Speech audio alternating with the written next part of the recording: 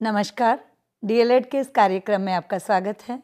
मैं doctor Saroj Vyas, principal Fairfield Institute of Management and Technology, आपका अभिनंदन करती हूँ, स्वागत करती हूँ। भाषा शिक्षण क्या है और भाषा शिक्षण में मुख्य कौन कौन से कौशल है? इस चर्चा में हम आज वाचन कौशल पर विस्तार से बातचीत करेंगे। वाचन कौशल वाचन कौशल क्या है? क्योंकि किसी भी बात को जान लेने के लिए, किसी भी चीज़ को समझ लेने के लिए, उसका अर्थ समझ लेना आवश्यक है। और भाषा शिक्षण में मुख्य चार कौशल होते हैं, जिसमें श्रवण कौशल, वाचन कौशल, पठन कौशल और लेखन कौशल। आज हम वाचन कौशल पर चर्चा करेंगे। इसके साथ ही मैं आपको एक चीज़ बताना चाहूँगी कि अभी अभी जो भाषा शिक्षण के चार कौशलों की मैंने बात करी है, उनकी एक क्रमबद्धता है। अधिकांशतः होता क्या है कि विद्यार्थियों को लगता है कि चार कौशल है। चार कौशलों में से किसी भी कौशल को कहीं भी किसी भी क्रम में रख देंगे। ऐसा नहीं है। किसी भी पाठ्यगत सामग्री की एक क्रमबद्धता होती है और उस क्रमबद्धता के होने का भी कोई निश्चित एक नियम और कारण होता है। सबसे पहले हमने कहा है श्रवण कौशल। श्रवण कौशल, उसके बाद में वाचन कौशल, फिर पठन कौशल और लेखन कौशल। आप लोग याद करिए और आप लोग अपने घर, परिवार, आसपास, रिश्तेदारों में देखिए। शिशु जब जन्म लेता है तो सबसे पहले उसके श्रवण कौशल का विकास होता है। माता पिता के द्वारा, दादा, दादी, नाना, नानी, अभिभावकों के द्वारा। सबसे पहले उससे जब बात की जाती है तो उसकी कृणेन्द्रिया उसके कान सबसे पहले उसके कान जो है, वो हलचल में आते हैं, उसके कान बिल्कुल सुनते हैं, श्रवण कौशल। और उसमें सबसे पहले श्रवण शक्ति का विकास होता है और वो जब माँ उसे कहती है कि बेटा बोलो माँ या पापा बोलो तो वो पहले सुनता है और अपनी शारीरिक हाव भाव से अभिव्यक्ति देता है और उसके बाद में वो मैं, पा पा पा बोलना शुरू करता है। तो सबसे पहले किसी भी व्यक्ति के व्यक्तित्व के जो अभिव्यक्ति के कौशल है, उसमें श्रवण कौशल का विकास होता है।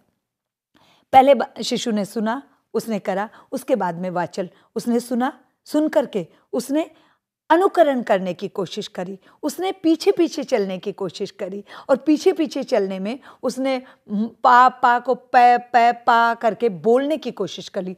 तो दूसरा जो कौशल उस बालक में विकसित हुआ, वो है वाचन कौशल। वाचन कौशल जब उसको आ जाता है तो तीसरा जो हमारा कौशल आता है, वो पठन कौशल।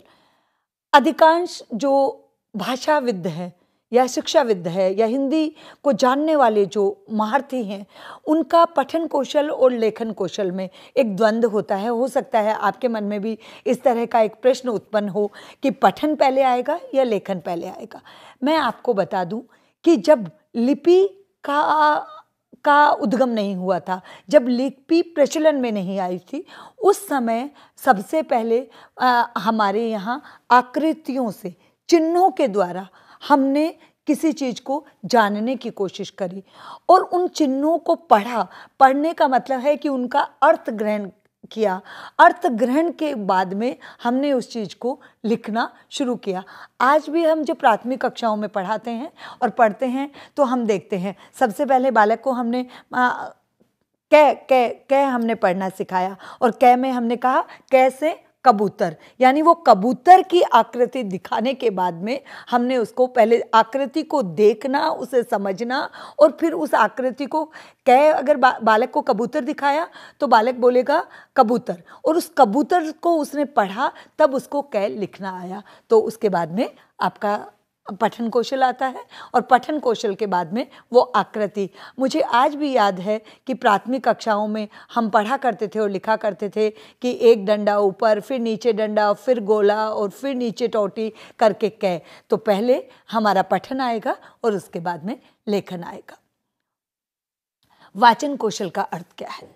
सामान्य रूप से आपसी बोलचाल की भाषा और मौखिक भाषा को वाचन की संज्ञा दी जाती है। जब हम कुछ बोलते हैं, बातचीत करते हैं तो उसे हमें वाचन कौशल कहा जाता है। शिशु माता पिता और अन्य लोगों से बोलकर सीखना आता है और साहित्य में मौखिक जो अभिव्यक्ति है, उसको वाचन का नाम दिया गया है। यानी आप अपने मुख से जो भी बोलते हैं, जो भी कहते हैं, वो हमारा वाचन कहलाता है। वाचन की परिभाषा प्रसिद्ध पाश्चात्य दार्शनिक बेकर ने कहा है कि संभाषण की कला में प्रवीण व्यक्ति ही तत्पर बुद्धि वाला हो सकता है। संभाषण की कला। संभाषण का मतलब हुआ कि आपसी बातचीत। आपसी बातचीत यानी एक दूसरे से बातचीत करना, बोलना, वाचन करना। इसमें यदि कोई निपुण है, इसमें यदि कोई तत्पर है तो वो बुद्धि वाला बन सकता है, यानी उसकी बौद्धिक क्षमता बढ़ सकती है।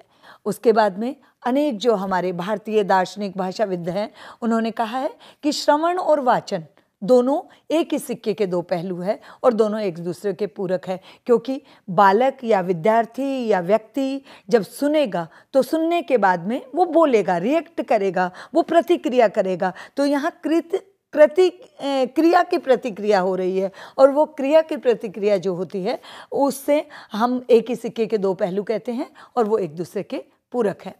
वाचन कौशल की आवश्यकता क्यों पड़ी? क्यों हम क्यों हम वाचन कौशल को पढ़ें और क्यों हम वाचन कौशल को पढ़ाएँ? इसकी आवश्यकता क्या है? इस पर हम बात करते हैं। सबसे बड़ी बात है कि विचारों के आदान प्रदान के लिए जब दो व्यक्ति के विचार होते हैं, व्यक्तियों के, क्योंकि जो हमारी भाषा है, वो अभिव्यक्ति का साधन है तो विचार विनिमय का साधन है तो विचारों के आदान प्रदान के लिए वाचन की आवश्यकता पड़ती है कि एक व्यक्ति दूसरे व्यक्ति या एक समूह दूसरे समूह या एक व्यक्ति दूसरे समूह या समूह द्वारा एक व्यक्ति को क्या विचार या भाव दिए जा रहे हैं, इसके आदान प्रदान के लिए वाचन कौशल ज़रूरी है।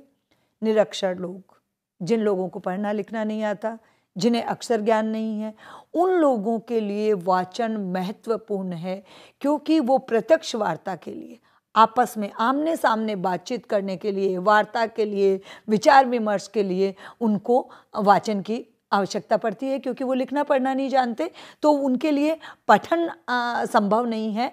ये नहीं है कि उनको कुछ लिख के दे दिया, आपने कोई लिखित उनको संदेश दे दिया, या आपने कोई उनको लेख दे दिया, आपने उनको लिख करके पत्र दे दिया, उससे उनका काम नहीं चलता, क्योंकि वो निरक्षर है, उनको अक्षर ज्ञान नहीं है। इसलिए वाचन कौशल उनके लिए अति आवश्यक है।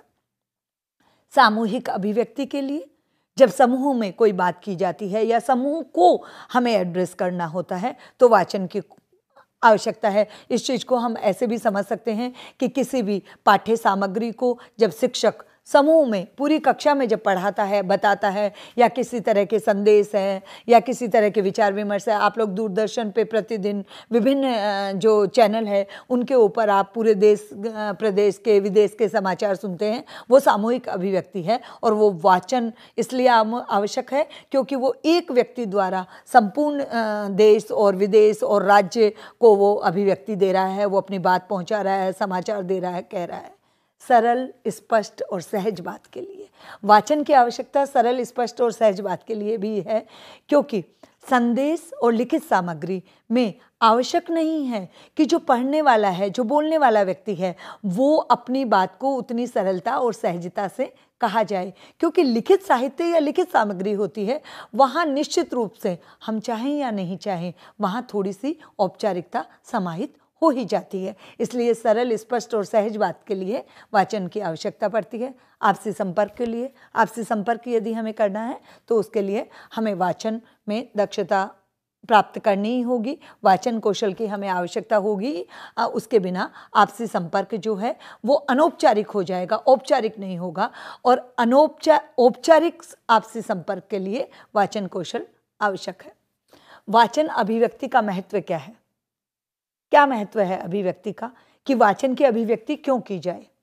क्योंकि अगर हम अभिव्यक्ति नहीं करेंगे तो वो पठन हो जाएगा। क्योंकि पठन में हमारा मौन भी होता है और हमारा सहस्वर भी होता है। वाचन की अभिव्यक्ति महत्वपूर्ण क्यों है? उसका दैनिक जीवन में, व्यावसायिक जीवन में, व्यक्तिगत जीवन में, सामाजिक जीवन में, राजनीतिक जीवन में क्या महत्व है, ये जान लेना बहुत ही आवश्यक है। प्रत्येक अभिव्यक्ति के द्वारा संबंधों में घनिष्ठता आती है। जब दो व्यक्ति आपस में प्रत्यक्ष रूप से अभिव्यक्ति करते हैं, वाचन करते हैं, बोलते हैं, मौखिक रूप से अपनी बात कहते हैं तो वहाँ संबंधों में घनिष्ठता आ जाती है। क्योंकि कई बार क्या होता है कि लिखित सामग्री है, उसमें भाषा और शब्द। कुछ इस तरह के भी हो सकते हैं कि सामने जो पढ़ने वाला पाठक है, उसका बौद्धिक स्तर या बुद्धि लब्धि इतनी नहीं हो कि उस शब्द के अर्थ को वो सहज भाव से अर्थ ग्रहण कर सके और ऐसे में संबंधों में अनु, अनौपचारिकता आ जाती है, घनिष्ठता नहीं आती तो प्रत्येक अभिव्यक्ति के द्वारा संबंधों में घनिष्ठता आती है। मौखिक अभि अभिव्यक्ति में अधिक सजीवता से भावों का प्रदर्शन किया जा सकता है। मैं अपनी बात आपको कह रही हूँ। आपके पास में पाठ्य सामग्री भी है, आपके पास में पुस्तकें भी हैं, आपके पास में और भी लिखित सामग्री है।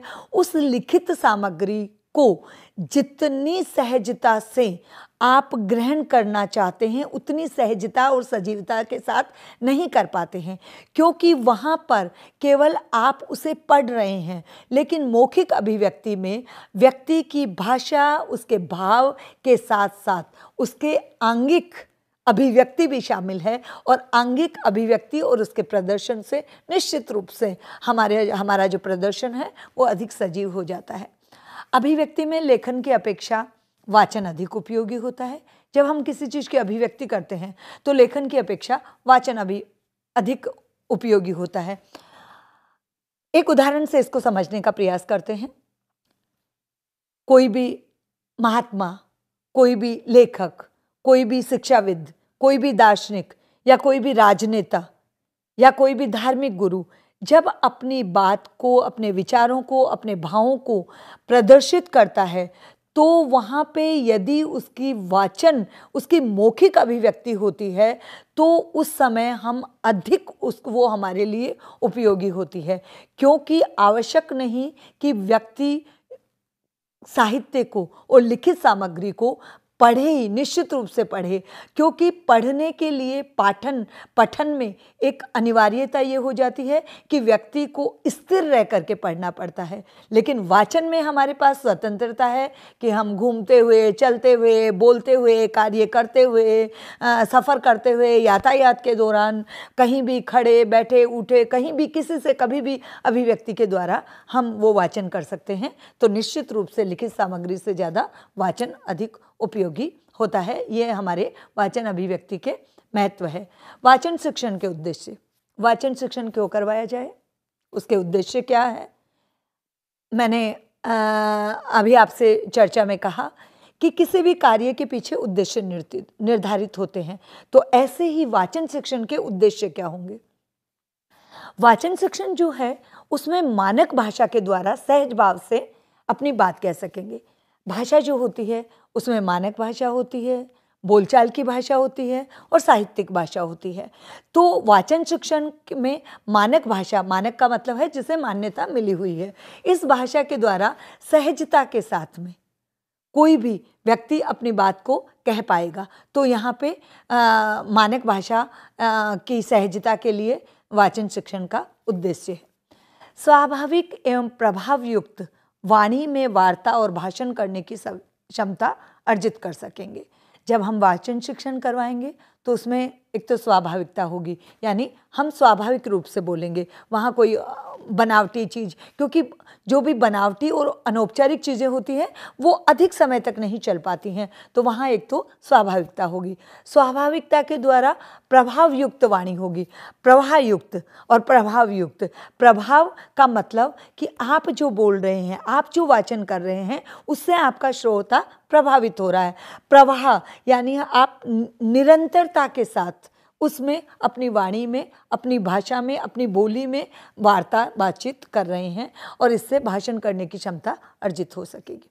इसके बाद, वाचन शिक्षण का जो महत्वपूर्ण उद्देश्य है, वो है कि जैसे हमारा जो व्यक्तिगत, व्यावसायिक और सामाजिक जो एक हमारी प्रतिबद्धता है, एक हमारा विचार विनिमय है, एक हमारा शिष्टाचार, जिसे मैं कहूँ तो अधिक उपयुक्त होगा। हमारा जो शिष्टाचार की जो हमारी पद्धतियाँ हैं, उनके लिए वाचन शिक्षण बहुत ही आवश्यक और महत्वपूर्ण है। जैसे स्वागत। हमें किसी का स्वागत करना है। स्वागत में यदि हमने आप आए हमें बहुत अच्छा लगा, स्वागत है। हम बहुत आनंदित हैं। हम अभिभूत अपने आप को महसूस कर रहे हैं। हमने जब वाचन किया तो हमने तीन, चार, पाँच वाक्य एक साथ बोल दिए और श्रोता को या जिसका हम स्वागत कर रहे हैं, उसको अभिभूत कर दिया, उसको आनंदित कर दिया। यही चीज़ यदि हम लिखित में लिखते तो सबसे अधिक से अधिक हम लिख देते, स्वागत है, अभिनंदन है, इतना ही हम लिख पाते। दूसरा परिचय, जब हम किसी का परिचय दिवाते, करते हैं तो लिखित में आपने सीधा सा एक पढ़ लिया कि मेरा नाम नमन है। मान लीजिए आपने पढ़ लिया, मेरा नाम कल्पना है, आपने ये पढ़ लिया। लेकिन जब हम किसी का परिचय करवाते हैं या अपना परिचय देते हैं तो हम बहुत ही, जैसे मैंने अभी आप लोगों से चर्चा में कहा कि मैं प्रोफेसर सरोज व्यास, प्राचार्य, Fairfield Institute and Management and Technology, मेरा ये निवास स्थान है, मैं यहाँ से आती हूँ एंड एंड सारा परिचय, वो विस्तार से आप परिचय वहाँ पर दे पाते हैं। धन्यवाद। धन्यवाद में आपने लिखित रूप से एक एक एक एक वाक्य, एक शब्द लिख दिया है, धन्यवाद। धन्यवाद करता हूँ या एक शब्द लिख दिया, धन्यवाद। लेकिन यदि आप प्रत्यक्ष रूप से वाचन के द्वारा धन्यवाद दे रहे हैं। तो आप धन्यवाद, आप हमारे यहाँ आए, आपने हमें कृतज्ञ मैं आपका धन्यवाद करती हूँ, मैं अभिभूत हूँ, मैं आपके प्रति नतमस्तक हूँ और बहुत सारे ऐसे शब्द हैं अभिवादन के लिए, धन्यवाद के लिए, जिनको हम बोल करके और उस उद्देश्य के लिए हम वाचन का प्रयोग करते हैं। कृतज्ञता। आपने मुझे ये अवसर दिया, इसके लिए मैं आपकी, के प्रति कृतज्ञ हूँ। आपका कृतज्ञता व्यापन करती हूँ। संवेदना। किसी की खुशी में, किसी के दुख में, किसी को हम जब संवेदना देते हैं, किसी को आश्वासन देते हैं तो उस समय हमारा वाचन बहुत उपयोगी होता है बधाई देने के लिए। जब हम किसी की उपलब्धि पर, जब हम किसी के मंगल कार्यों में, जब किसी के के, की सफलता के ऊपर हम जब उन्हें बधाई देते हैं तो वाचन का बहुत ही महत्व होता है और इसके लिए वाचन शिक्षण का ये उद्देश्य है कि बधाई के लिए भी और इन सब इन सब जो ये हमारे विभिन्न विभिन्न क्षेत्र हैं, विभिन्न विभिन्न हमारे व्यक्तिगत, सामाजिक जो हमारी औपचारिकताएँ हैं, जो हमारे कार्य हैं, जो हमारी दैनिक आवश्यकताएँ हैं, इनके लिए वाचन का विशेष विद्यार्थियों में तार्किक शक्ति बढ़ा पाएगा। वाचन जो है, वो निश्चित रूप से वाचन करने वाले में और विद्यार्थी में तार्किक शक्ति बढ़ाता है। क्योंकि जब हम वाचन करते हैं तो हम जब कुछ कहते हैं तो उसके प्रति उत्तर में हमें जो तर्क मिलते हैं और वो तर्क यदि सही हैं तो क्यों हैं? और यदि आप उससे असहमत हैं तो क्यों हैं? और सहमत हैं तो क्यों हैं? ये सब विचार विमर्श करने और चिंतन मनन करने का अवसर प्राप्त होता है और इससे विद्यार्थियों में वाचन क्षमता बढ़ती है। वा, वाचन कौशल की विशेषताएँ। जब हमने उद्देश्यों की बात कर ली तो अब हम वाचन कौशल की विशेषताओं पर भी चर्चा कर लेते हैं। वाचन कौशल की कुछ मुख्य विशेषताएँ हैं, जिनको हम क्रम से एक एक करके हम उन पर चर्चा करते हैं। सबसे पहले आता है शुद्धता। वाचन कौशल में शुद्धता रहती है। अब आप लोग सोच रहे होंगे कि वाचन जब है तो उसमें शुद्धता कैसे आ गई? शुद्धता से मेरा यहाँ अभिप्राय है कि मान लीजिए कि मुझे लिखना पड़ रहा है, यद्यपि कदापि किंग कर्तव्य विमूढ़, अनादिकाल से अनौपचारिक, भौतिक, अभिव्यक्ति, अधिगम, इस तरह के मुझे शब्द बोलने पड़ रहे हैं। हो सकता है लेखन में मैं मात्राओं की गलती कर जाऊँ, लेकिन जब हम बोलते हैं तो अपनी बात को प्रभावशाली रखने के लिए हम शुद्धता का ध्यान रखते हैं। दूसरी नंबर पर आता है, स्वाभाविकता।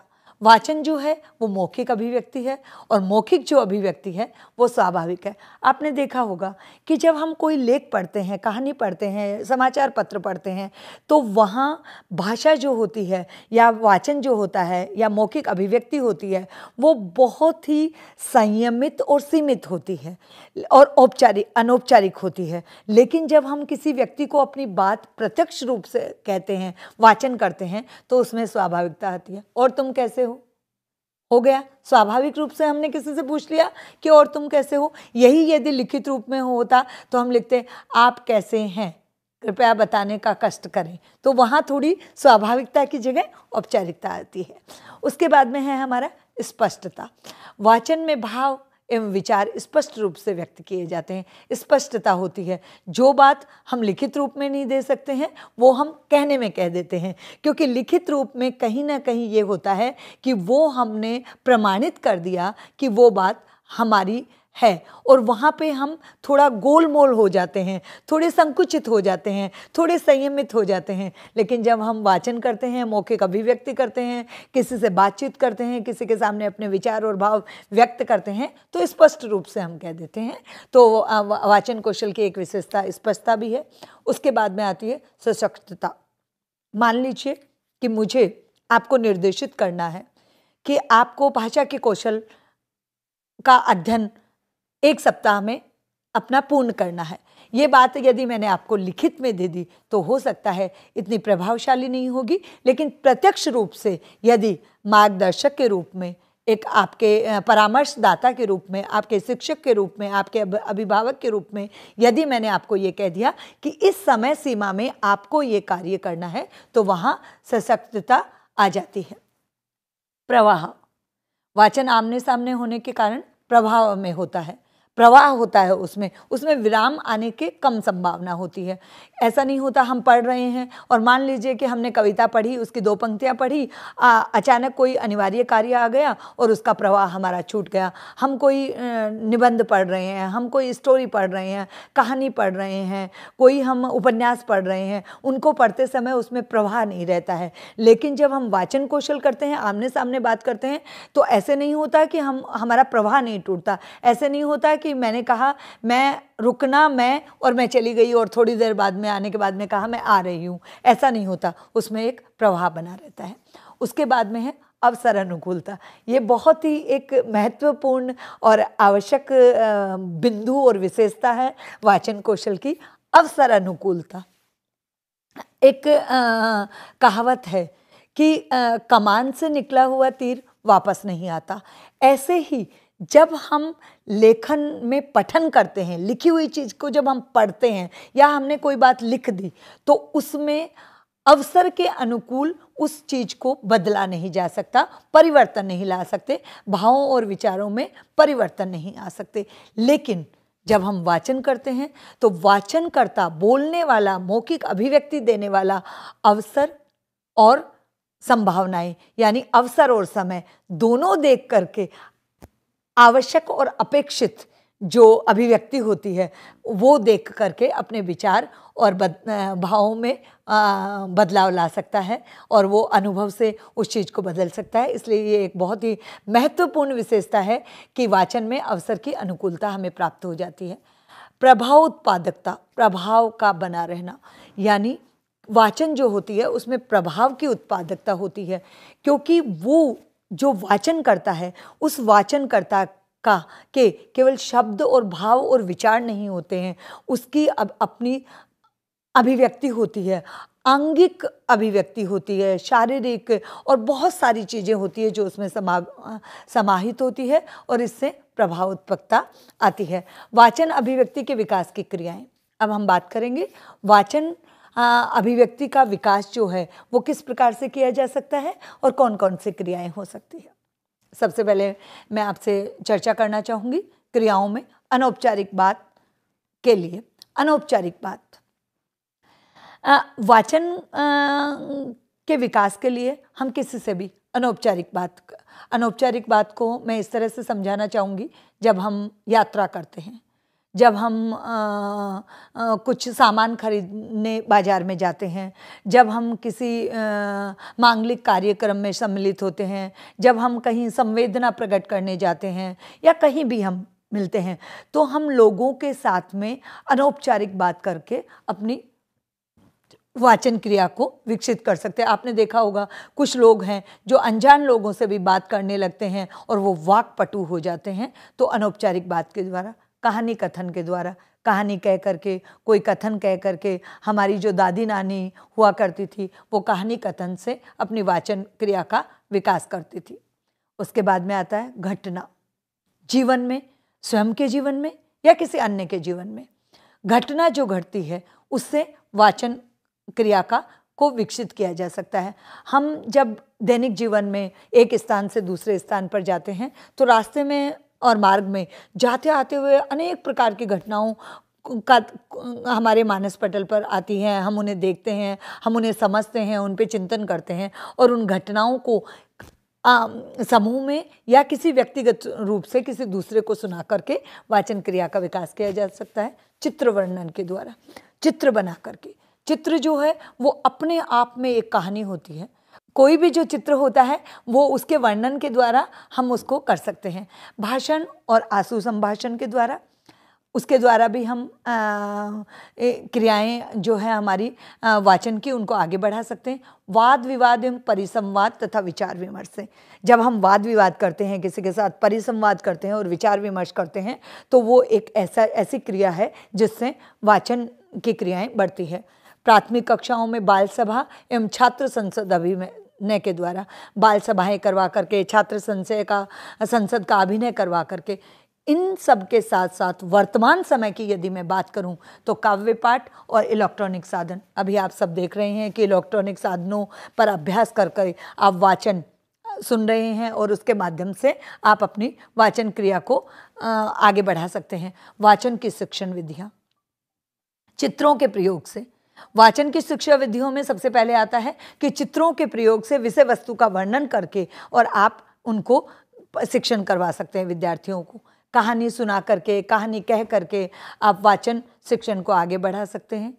सुगम संगीत के द्वारा आपने देखा है कि कभी कभी शिक्षण जो होता है वो संगीत के माध्यम से आप वो उसको करवा रहे हैं। सहस्वर वाचन से, किसी भी कविता का, किसी भी गद्य का, किसी भी पद्य का सहस्वर वाचन से आप वाचन करवा रहे हैं। भाषण विधि के माध्यम से, भाषण से भी आपका वाचन शिक्षण संभव है। वाद वाद प्रतियोगिता के द्वारा अभिनय करके कुछ कुछ ऐसे ऐसे आपकी लेखन सामग्री होती है, कुछ नाटक होते हैं, उनको आप अभिनय के माध्यम से उनमें वाचन में दक्षता लाते हैं।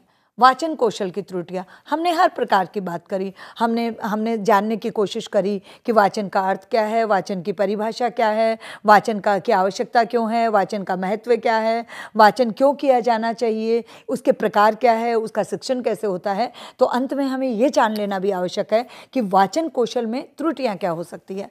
वाचन में जो सबसे बड़ी त्रुटि है, वो है उच्चारण दोष। उच्चारण दोष से मेरा अभिप्राय है हकलाहट। यदि सम समझिए कि यदि वाचनकर्ता हकलाट, हकलाता है, उसमें शारीरिक कुछ दोष है तो वो वाचन अशुद्ध प्रभावशाली नहीं होगा। उद्गम स्थानों की अज्ञानता और यदि वाचनकर्ता को शब्दों के, वर्णों के, स्वरों के उद्गम स्थान जो हमारे होते हैं, अगर उनका ज्ञान नहीं है तो वो वाचन प्रभावी नहीं रहेगा। प्रवाह एवं ओजस्विता की कमी। कई बार क्या होता है कि वाचनकर्ता प्रवाह में और ओजस्विता के साथ यदि नहीं बोलता है उसकी वाणी ओजस्वी नहीं है और वो प्रभाव में प्रवाह में बोलने की क्षमता नहीं रखता है तो वो वाचन की त्रुटि कहलाता है। आरोह अवरोह की अनिश्चितता। अधिकांशतः क्या होता है कि वाचनकर्ता जब ये भूल जाता है कि आरोह अवरोह कब लेना है? यानी कब आपको अप, अपने शब्दों को अपने भावों को कब आपको उतार करना है कब उनमें चढ़ाव करना है यानी अपना आपका स्वर कब ऊपर होगा कब नीचे आएगा ये यदि अनिश्चितता है इसकी जानकारी आपको नहीं है तो वो वाचन का दोष कहलाएगा। शारीरिक दोष जैसे वधीर होना यदि किसी कोई आ, सुन नहीं पाता है तो ऐसे व्यक्ति के लिए आ, वाचन कौशल संभव नहीं होगा। मनोवैज्ञानिक कारण। मनोवैज्ञानिक कारण में मैं एक मुख्य कारण जो है, वो आपके साथ बांटना चाहूँगी, और वो है अल्पभाषी होना। कुछ लोग होते हैं जो अल्पभाषी होते हैं और उन, वो वाचन नहीं कर पाते हैं अच्छे से। वाचन की त्रुटियों का निवारण, अब इनका निवारण कैसे किया जाए? हमने दोषों की तो चर्चा कर ली, लेकिन आवश्यक है कि हम ये भी जान लें कि इनका निवारण कैसे होगा। उच्चारण दोष की जाँच करवा करके, अभ्यास द्वारा। यानी उच्चारण में यदि दोष है तो उसकी पहले जाँच करवा ली जाए। यदि यदि वैज्ञानिक तरीके से या मनोवैज्ञानिक तरीके से जैसे भी संभव हो उच्चारण दोष की जाँच करवाएँ और अभ्यास के द्वारा इसको ठीक करा जा सकता है। शैक्षिक निर्देशन और सहायक कार्यक्रमों के द्वारा भी इसको ठीक किया जा सकता है। अनेक कार्यक्रमों क्रियाकलापों का आयोजन करवा के कर, किया जा सकता है।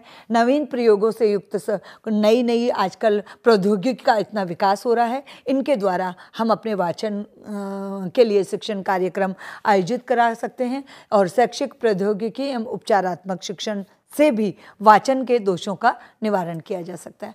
आज की इस चर्चा में हमने भाषा शिक्षण के जो चार आधारभूत स्तंभ है, उसमें वाचन शिक्षण पे चर्चा करी, वाचन का अर्थ, वाचन की परिभाषा, वाचन की आवश्यकता, वाचन के उद्देश्य, वाचन का महत्व, वाचन की प्रक्रिया, वाचन शिक्षण किस प्रकार से किया जा सकता है, वाचन शिक्षण जो है, उसके दोष क्या क्या हो सकते हैं और उनका निवारण क्या हो सकता है, इन सब इन सब विभिन्न महत्वपूर्ण पहलुओं पे हमने चर्चा करी।